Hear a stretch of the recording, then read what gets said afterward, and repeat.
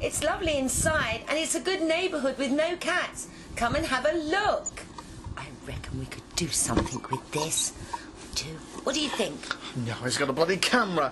Everywhere you go these days, it's bloody cameras. I mean, it's the one time when you want a bit of privacy laying eggs and stuff. Come on, we'll try somewhere else.